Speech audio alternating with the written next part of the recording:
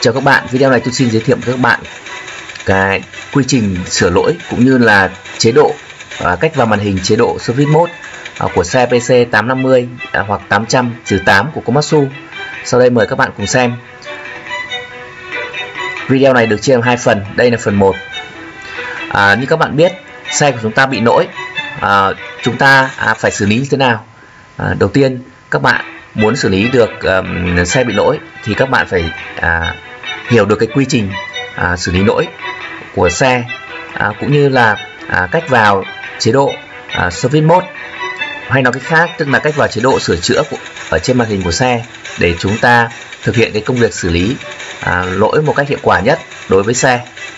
Sau đây mời các bạn cùng xem. Tiếp theo tôi xin giới thiệu với các bạn quy trình à, xử lý à, sửa chữa nói chung của xe Komatsu. Đầu tiên các bạn phải đọc được mã lỗi ở trên màn hình. Sau đó các bạn tra cứu mã lỗi dựa theo video mã lỗi hoặc các bạn cũng có thể uh, dựa vào bảng mã lỗi ở trong uh, quyển shop menu để các bạn biết nội dung lỗi nó là cái gì. À, sau khi uh, các bạn biết rồi thì sang bước 3 đó là các bạn uh, tra video phân tích mã lỗi hoặc các bạn cũng thể vào uh, shop menu ở bảng phân tích mã lỗi à, nội dung các bước thực hiện nó là cái gì à, giá trị tiêu chuẩn ra làm sao. À, các bạn dựa theo cái bảng đó để các bạn à, đánh giá về à, phương pháp thực hiện cũng như là phương pháp kiểm tra um, đối với um, lỗi đó. Sau khi các bạn đó rồi ấy, thì các bạn kiểm tra. À, kiểm tra chúng ta có hai cái phương pháp kiểm tra đó là kiểm tra trên màn hình. À, thực hiện bằng phương pháp bằng các mã kiểm tra. Chúng ta hay gọi tiếng Anh là monitor code. Đó, các bạn sử dụng cái mã đó để các bạn kiểm tra trên màn hình và so sánh với giá trị tiêu chuẩn thì các bạn đánh giá được sơ bộ được chi tiết đấy nó bị hỏng hay là không hỏng. Đó à, sau khi các bạn giả sử trong trong trường hợp đó các bạn mà thấy hỏng rồi thì các bạn có thể xác nhận lại bằng cách đo thực tế dựa trên bảng vị trí sơ đồ vị trí ừ, của à, chi tiết đó hoặc của rắc điện đó để chúng ta đo đạc. À, có một số máy có và có một số máy không. À, nhìn về cơ bản các bạn à, phải dựa theo cái à, vị trí đó để các bạn đo đạc xác nhận thực tế.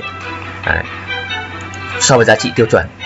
À, và, và bước tiếp theo đó là các bạn đo Đấy, thực tế so với giá trị tiêu chuẩn để đánh giá xem nó hỏng cái gì.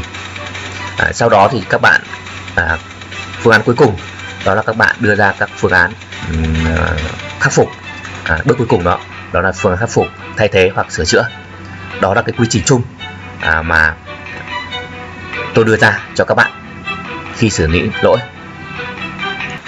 Sang bước tiếp theo à, à, mời các bạn xem à, để hiểu được lỗi và quy trình này rồi thì các bạn phải sử dụng được thuần thục cái chế độ service mode hoặc là chế độ sửa chữa trên màn hình. À, tiếp theo. bạn, à, chúng ta vào chế độ uh, service mode dành cho người thợ kỹ thuật. À, thì chúng ta làm thao tác như nào? À, các bạn cùng xem tôi làm nhé. Đấy, ấn giữ phím 4 và ấn phím 1, phím 2, phím 3 cùng một lúc. Thì nó sẽ vào được cái chế độ uh, service mode. Đây các bạn làm lại 1 2 3 đó. 1 2 3 được rồi đó. Các bạn thấy không? Ở đây là vào chế độ service mode rồi. Đấy. các bạn có thể à, xem rất là rõ. Tuyệt phòng đây là hạng mục giám sát tức là monitoring. À, để chúng ta vào các hạng mục này để chúng ta à, giám sát các thông số về máy. À, mục đấy rất quan trọng. Hạng mục thứ hai đó là hạng mục về um, lỗi. Các loại lỗi ở trong này. Hạng mục thứ ba là bảo trì bảo dưỡng. À, nó ghi lại dữ liệu các thông số về bảo trì bảo dưỡng. Hạng mục thứ tư đó là hạng mục về ừ, ờ, thay đổi ờ, chế độ bảo trì bảo dưỡng. À, hạng mục thứ năm đó là hạng mục về ừ, nhập số điện thoại ờ, vào người quản lý ấy, để khi mà có vấn đề gì thì nó sẽ hiện lên để chúng ta gọi. Hạng mục thứ sáu đó là hạng mục về default tức là mặc định đúng không ạ? Hạng mục thứ bảy đó là hạng mục về uh, điều chỉnh các thông số. Khi chúng ta um, thay thế hoặc lắp ráp mới uh, một số các chi tiết khác. Tiếp theo hạng mục số 8 là hạng mục về về um, cắt xi lanh. Tức là bỏ xi lanh đấy để chúng ta xác định xem kim con kim phun nào là con kim phun uh, sống kim phun nào là con kim, uh, kim phun chết. Hạng mục số tiếp theo số 9 là hạng mục gì? Um, low rejection tức là hạng mục gì? Um, đề máy nhưng mà không phun nhiên liệu. Và mục đích để gì để xe các bạn để mà để lâu vậy thì các bạn đề như này để máy nổ cho nó dễ cũng như là kiểu xe máy chúng ta à, trước khi mà chúng ta uh, đề thật ấy, thì chúng ta tắt chìa khóa đi chúng ta đạp đúng không ạ? À, gọi đề không phun hạng à, mục tiếp theo đó là hạng mục fuel consumption tức là tính mức tiêu thụ nhiên liệu của uh, xe. Đấy, thì chúng ta biết được. Tức là hạng mục tiếp theo đó là hạng mục com chắc tức là đặt hệ thống com chắc. Nếu máy các bạn uh, kết nối com chắc thì nó có com chắc còn nếu không kết nối thì là nó sẽ không có. Đó như vậy à, và hạng mục cuối cùng đó hạng mục về à, à, service xe tức là nếu có công chắc thì nó sẽ có thêm các hạng mục service xe này để khi mà có hệ thống nó báo tin nhắn nó báo giao tiếp giữa mình và máy và uh, trung tâm quản lý của Komatsu thì nó sẽ báo cho các bạn biết là xe của các bạn đang ở tình trạng như thế nào. Đó. Như vậy chúng ta có 12 hạng mục các bạn nhìn đây thì nó có 12 hạng mục. À, tùy theo đấy là full option. Còn thì um, ít option thì nó chỉ còn có 10 thôi hoặc là 98 thôi. Đấy, hạng mục đầu tiên à, chúng ta vào hạng mục monitoring để chúng ta giám sát. Để cho các bạn cùng xem là tôi làm như nào thì chúng ta ấn F6 để chúng ta vào hạng mục giám sát.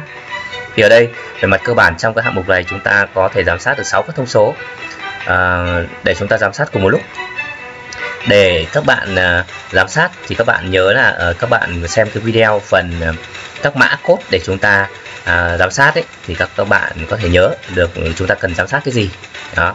Ở vì đây nó tiếng Anh thì các bạn cũng có thể nếu các bạn tiếng Anh tốt rồi thì các bạn không cần ờ, xem. Còn nếu các bạn có tiếng Anh ờ, ờ, ấy thì các bạn xem qua cái phần monitoring à, các mã code để chúng ta à, nhớ để chúng ta à, vào. Ví dụ ở đây là hai không không 22 chẳng hạn à 00200 chẳng hạn. Đó là mã à, liên quan đến gì? Chọn lựa chế độ à, xin lỗi chọn lựa cái chế độ của hộp điều khiển chẳng hạn. Ví dụ thế đúng không ạ? À, thì nếu chúng ta muốn à, kiểm tra cái mã này thì chúng ta ấn xác nhận F6 thì là nó sẽ nhảy vào nó sẽ xác nhận cho các bạn là à, mã này đã được à, xác nhận để chúng ta kiểm tra. À, à, và chúng ta muốn di chuyển thì chúng ta ấn F3 tiếp để chúng ta di chuyển. Đó như vậy là nó đỏ nó đã xác nhận rồi và chúng ta muốn kiểm tra cái gì đó thì chúng ta di chuyển cái con trỏ đó và chúng ta ấn F6 thì nó sẽ xác nhận cái mã đấy để chúng ta kiểm tra. Đây ví dụ như tôi muốn kiểm tra bơm à, trước và bơm sau. Đó rồi cũng như là à, nhiệt độ dầu thủy lực. Đó. ví dụ thế. Hoặc là EC, uh, à, ECV van tức van điện của bơm um, trước chẳng hạn. Đó như vậy là tôi xác nhận với các bạn là sáu cái rồi đúng không ạ? Và bây giờ tôi muốn muốn kiểm tra xong tôi đã xác nhận xong rồi thì tôi đã uh, xác nhận đủ là sáu cái rồi. Để tôi muốn xem các thông số của của nó. Hiện tại máy đang như thế nào? À, cái này áp dụng cho quá trình khi các bạn đánh giá tình trạng của máy cũng như sửa lỗi của máy. Trước khi chúng ta sửa máy thì chúng ta phải đánh giá cái tình trạng à, kiểm tra à, qua màn hình này. Nếu các toàn bộ thông số nó mà tốt thì chúng ta sẽ à, không cần phải đo đạc trực tiếp đúng không ạ? Đây các bạn nhìn thấy không? À, chúng ta đã được các thông số về máy rồi.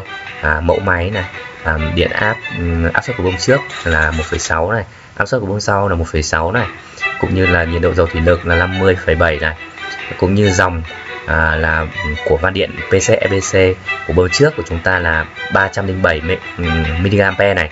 Rất là tuyệt vời các thông số tuyệt vời đúng không ạ? Như vậy là toàn bộ các này của chúng ta đều là đều là chuẩn đúng không ạ? À, thế mà trong trường hợp mà nó có bất thường thì các bạn sẽ nhìn thấy à, các thông số ở đây à, nó vượt ra các giải ở tiêu chuẩn ở các giải tiêu chuẩn so với tiêu chuẩn như vậy chúng ta sẽ đi kiểm tra cái đó thực tế xem như nào đúng không ạ? À, về cơ bản các bạn có thể sử dụng cái chức năng này để các bạn đánh giá lại toàn bộ các thông số về um, máy. Thì đến 90% các bạn không phải đụng chạm gì đến thực tế máy để trước khi các bạn à, sửa chữa. Rất là thuận lợi cho các bạn nếu các bạn à, sử dụng cái à, chế độ monitoring này.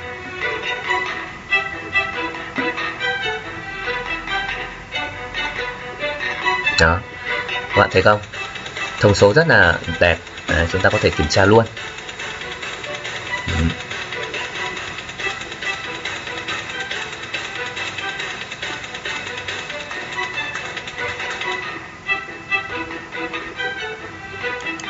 À, chúng ta không ấy thì chúng ta lại quay ra đúng không ạ? Chúng ta muốn kiểm tra cái khác. À, cứ như vậy thôi. Tiếp theo à, các bạn sau khi các bạn vào monitoring rồi à, thì các tôi xin giải thích các bạn chúng ta vào bên trong cái hạng mục thứ hai đó là hạng mục à, lomini Recorder tức là à, hạng mục về um, lỗi à, lưu trữ lỗi. À, các bạn cần phải làm gì? Đấy. À, hạng mục lưu, số 2 này là hạng mục lưu trữ lỗi. Các bạn muốn vào trong thì các bạn ấn F6 à, này nó vào thôi. Ở hạng mục này thì trong hạng mục này nó có ba loại đúng không ạ? Thứ nhất là lỗi cơ khí thứ hai lỗi điện và thứ ba là lỗi về điều hòa. Đấy. đối với lỗi um, À, ừ, để vào trong nữa thì các bạn ấn tiếp F6 ví dụ là lỗi cơ khí chẳng hạn ở đây chúng ta ấn vào là không có lỗi đúng không ạ? À, sang di chuyển sang lỗi điện chẳng hạn thì à, chúng ta ấn vào thì nó sẽ có lỗi. Đây các bạn nhìn đây. À, cái đầu tiên ý, thì các bạn sẽ nhìn thấy là à, 0101 ấy, đó là thứ tự của lỗi. Cái thứ hai đó là E tức là có điện và phía trên à, tiếp theo cái lỗi đến D862KA tức là mã lỗi đúng không ạ? Đó. Tiếp theo cái giờ đầu uh, nó xảy ra ở giờ đầu tiên đó là 2 à, 35 à, xin lỗi giờ đầu tiên là 3 giờ. Đúng không ạ? Và cái lỗi này nó à, xảy ra lần thứ hai là 325 và cái lần cuối cùng là ở 46 à, 406 giờ. Đấy đây là đầu tiên đây là giờ đầu tiên.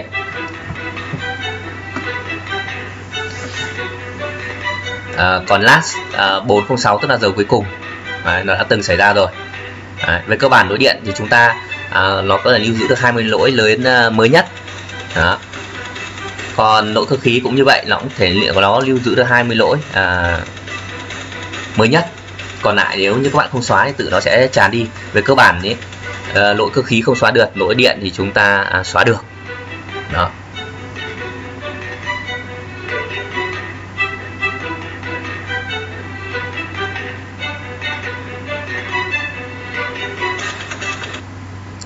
Có một số à, chúng ta mặc định. Đó là à, chúng ta à, một số xe một số đời thì nó không cho xóa cả đối điện nữa. Này các bạn chú ý là tự nó nó tràn thôi.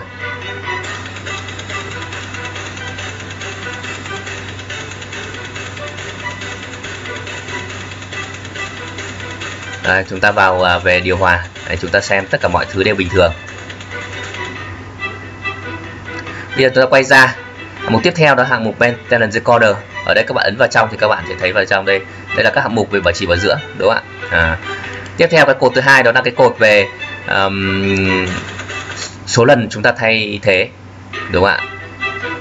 Và cũng như là cái à, hạng à, hạng à, mục à, cột cuối cùng. Là cột thứ ba bên tay phải các bạn ấy đó là cái giờ phía trước. À, chúng ta thay thế nó là bao nhiêu giờ? Đấy kiểu dạng thế. À, và ở đây là các hạng mục là chúng ta à,